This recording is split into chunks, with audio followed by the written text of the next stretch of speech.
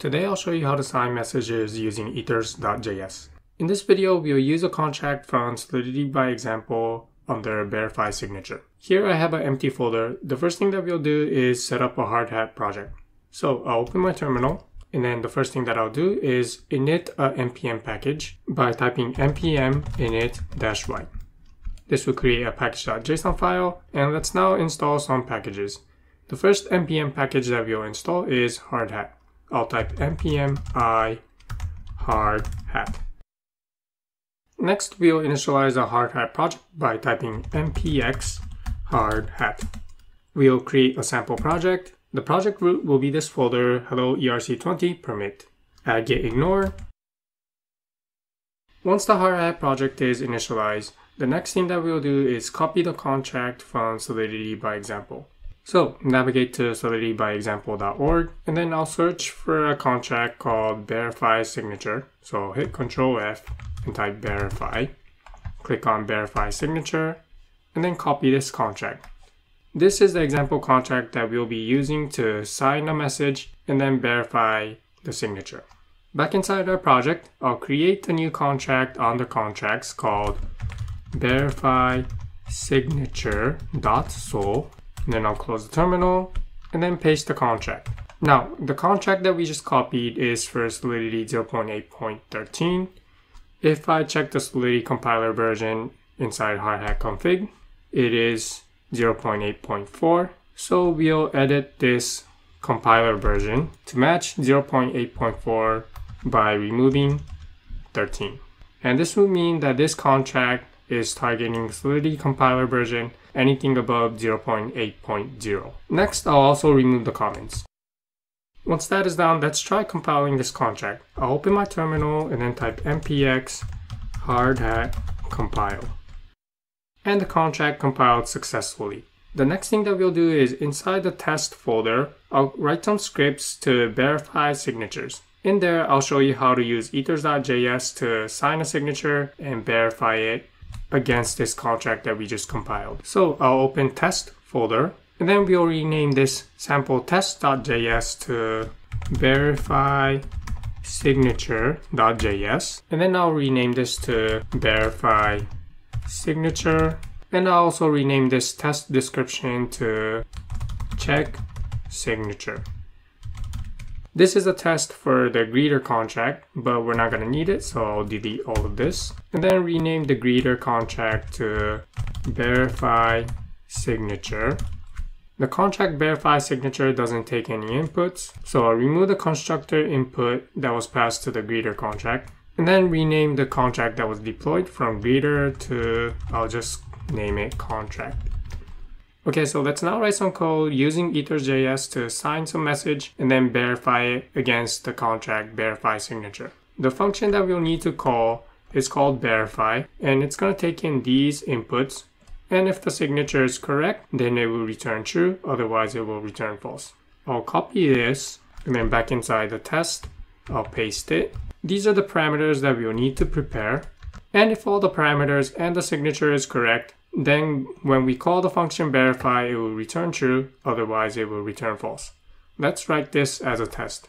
So we'll say expect await contract dot verify. The first input will be the address of the signer. So I'll say signer dot address. We'll write the test first and then prepare the inputs later. So we have not defined these variables yet inside this test. To, amount, message, nonce, and signature.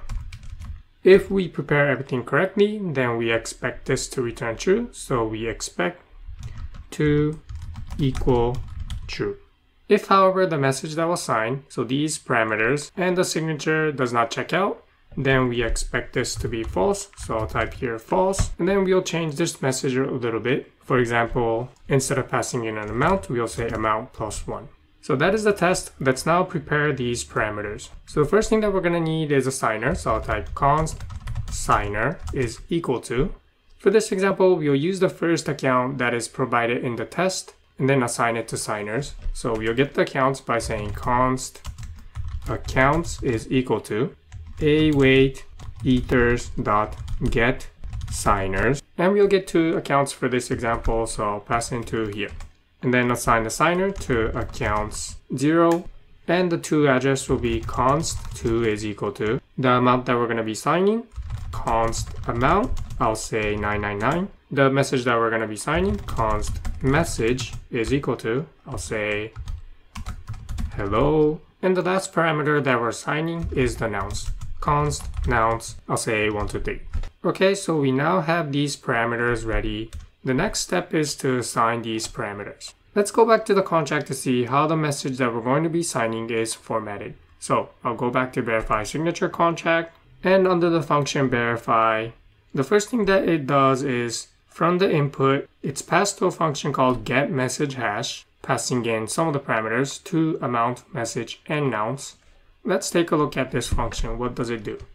The function get message hash takes in the inputs and then returns a keccak256 hash of the inputs. Let's go back to the function verify. So once we have a message hash of these inputs, next it calls the function get ETH sign message hash with the message hash as input. So I'll go to the function get ETH sign message hash. And this function takes a keccak256 of some prefixed message, Ethereum sign message appended by message hash, and then returns it. Okay, let's go back to the function verify again.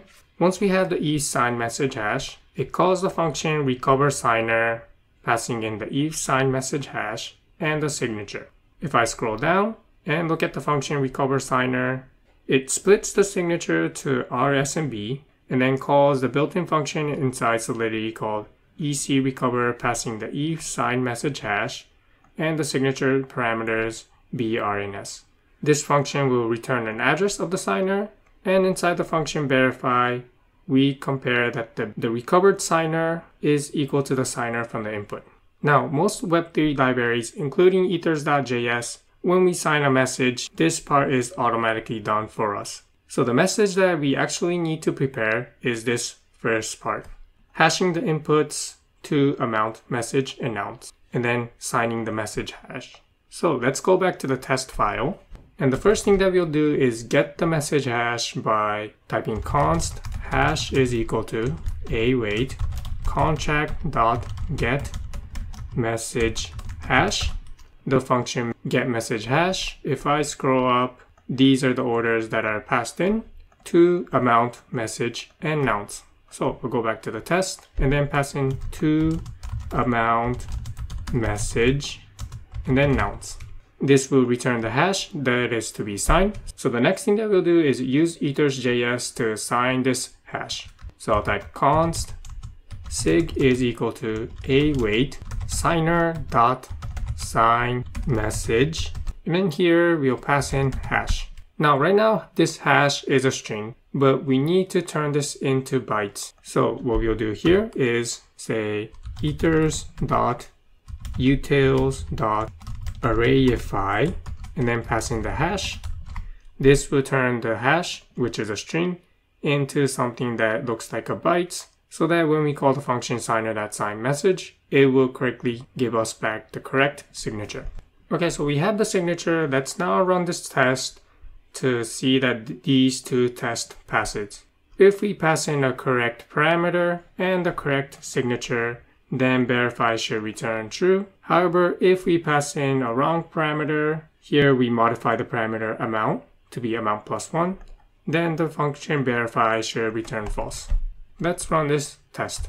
I'll hit Ctrl S and open my terminal. I'll also clear the terminal and then type npx hardhat test test slash verify signature.js and the test passes. So that means we were able to correctly prepare the message and then sign it and then verify that the signature was correct if we passed in the correct parameters and if we passed in some wrong parameter, for example here we passed in amount plus 1 instead of amount, then the contract verify returned false. Now for this test, here we use the default account provided by Hardhat. But what if we wanted to use our own account to sign a message? Then what you can do over here is import your private key, instantiate a wallet, and then the rest of the code should work as is. So for example, we'll say const private key is equal to 0x something. I'm not gonna paste my private key here. And if you're writing some code, then you'll probably import your private key from some environment variable or some .secret file. Once you got your private key, the next thing that you need to do is initialize a wallet. So for example, by typing const signer is equal to new ethers dot wallet and then passing in the private key and then commenting this default signer account. The rest of the code will work as is. And this is the only difference that you'll need to make in order to sign with your private key and then verify the signature. Now, earlier I mentioned that the actual message that is being signed is not the hash, but the hash prefixed with some message and then hashed again. The actual message that is being hashed is this message over here. Take the message hash, prefix it with this string, and then hash it again. The output is the actual message that is being signed. So to show you this, inside our test file, let's pass in the message hash, call this function to get the ETH signed message hash, and then we'll call the function recover signer to get the signer, and then compare the signer that was returned from this function with the actual signer. Back in the test file, the first thing that I'll do is get the ETH signed message hash. So I'll say const ETH hash is equal to a await contract dot get ETH signed message hash and then pass in the hash and then we'll console log the output of calling the function recover signer on the contract. So I'll type console dot log recovered signer and then call recover signer await contract dot recover signer passing in ETH hash and the signature now this recovered signer should be equal to the actual signer, which is this account. I'll comment this code out and then uncomment the default signer and then we'll console log the actual signer by typing console dot console.log signer and then typing in signer.address. Okay, let's run the test again and the recovered signer by calling contract dot recover contract.recoverSigner should be equal to the actual signer. So I'll open the terminal again and then run the test again. And then we see that the actual signer and the recovered signer are the same.